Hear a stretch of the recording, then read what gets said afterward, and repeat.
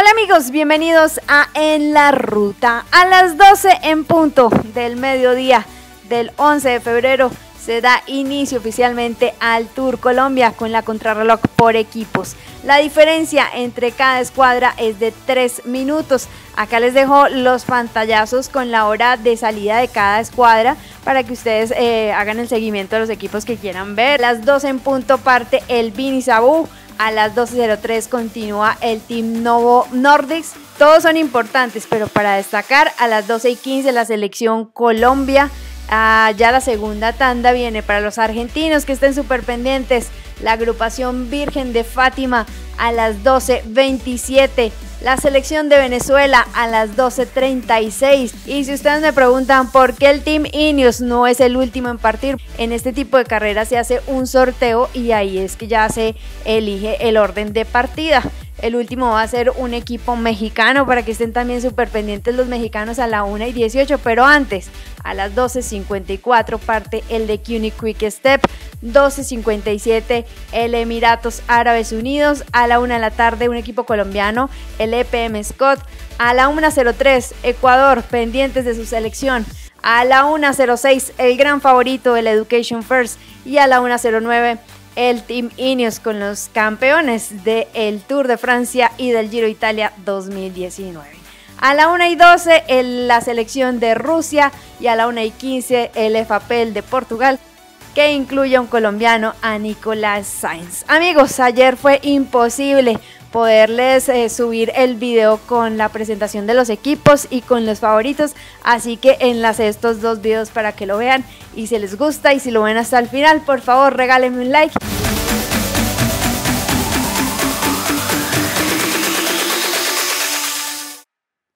Hola amigos, bienvenidos a En la Ruta. En el Estadio La Independencia de la ciudad de Tunja se llevó a cabo la ceremonia inaugural de la tercera edición del Tour Colombia. 27 equipos en total, 6 de categoría World Tour, 6 Continental Pro, 10 continentales y 5 selecciones nacionales. Para este tipo de carrera, el número de corredores autorizados por la UCI es de 6. Tengan en cuenta que para las grandes vueltas son 8 y en carreras de categoría WT2 es de 7. En total son 161 corredores en la línea de partida, de los que se destacan los ganadores de la última edición del Tour de Francia y del Giro de Italia.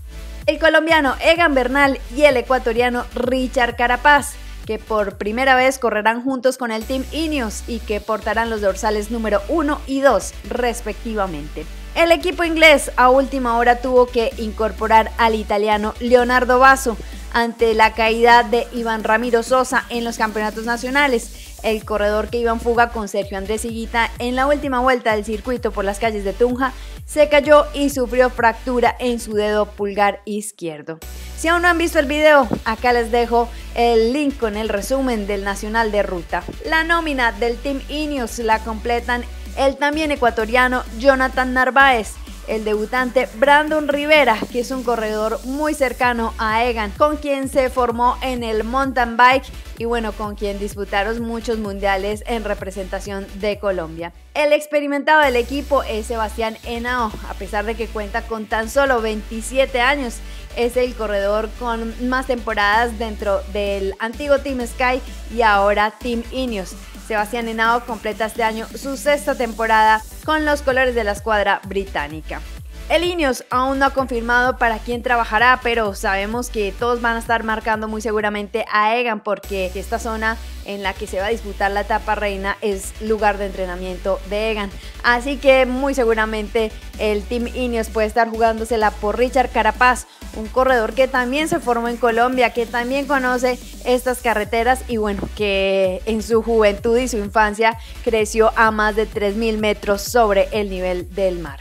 Si aún no han visto el video que se necesita para ganar este Tour Colombia, los invito a que den clic aquí arriba, les dejo el link del video para que se enteren pues porque estamos hablando tanto del tema de la actitud y bueno, también de la importancia de tener un buen equipo para este Tour Colombia. Uno de los más completos de los que trae el World Tour es el Education First, que reúne la experiencia de hombres como los norteamericanos Lapson Crado y TJ Van Gardenen, más la de Rigo Berturán. A esto súmele la juventud del campeón ecuatoriano Jonathan Caicedo y los campeones nacionales de Colombia, tanto de crono como de ruta, Daniel Felipe Martínez y Sergio Higuita. Higuita, después de la exhibición que tuvo en los nacionales, muy seguramente que va a estar con mucha marca encima. Rigo es su primera carrera del año después del accidente que sufrió en la Vuelta a España. Y bueno, los estadounidenses sabemos que vienen más que nada a hacer un trabajo de entrenamiento altura, pero son grandes gregarios, grandes trabajadores en la prueba contrarreloj por equipos, que eso va a ser fundamental para este Tour Colombia y bueno, que también estarán apoyando a sus líderes, que no sabemos si puede ser el ecuatoriano Narváez o Daniel Felipe Martínez, que pues conoce muy bien esta zona y también lo hemos visto en, en etapas importantes del World Tour haciéndose sus escapadas. El Movistar Team presenta oficialmente a sus dos nuevas contrataciones colombianas, dos jóvenes talentos de 21 y 22 años respectivamente. Estamos hablando de Einer Rubio y de Juan Diego Alba, segundo y tercer lugar del Bio Giro 2019, la versión sub-23 del Giro de Italia. Estos corredores son grandes escaladores y cazadores de etapa, Así que el perfil de la jornada número 4 y la clasificación de la montaña podría estar en manos de estos corredores del Movistar Team. Al equipo telefónico se le suman el español Carlos Verona, el estadounidense Mateo Jorgensen, el argentino Eduardo Sepúlveda y el también colombiano Carlos Betancourt, el más antiguo del Movistar Team. Este año suma cuatro temporadas. El de CUNY Quick Step de las dos ediciones anteriores en las que ha estado presente en el Tour Colombia siempre se ha llevado etapa con Gaviria, con Juliana Lafilippe y con Bob Jungles. Este año saben que la exigencia va a ser mucho mayor, ya que las seis etapas eh, se correrán sobre los 2.500 metros sobre el nivel del mar. Le apuntan a las tres jornadas para velocistas con el colombiano Alvarito Hosch, que cuenta con la fortaleza de hombres muy grandes y fuertes como el danés Mikkel Honoré, el alemán Yannick Santiel y el belga Van Lemberg. El Emiratos Árabes Unidos presenta a la joyita de Camilo Ardila, ganador del Biogiro 2019. Este será el capo de la escuadra de los Emiratos. Es muy ágil y explosivo en la montaña. El equipo como tal es muy fuerte para la contrarreloj y muy seguramente puede ser de los que estén descontando menos tiempo frente al Education First.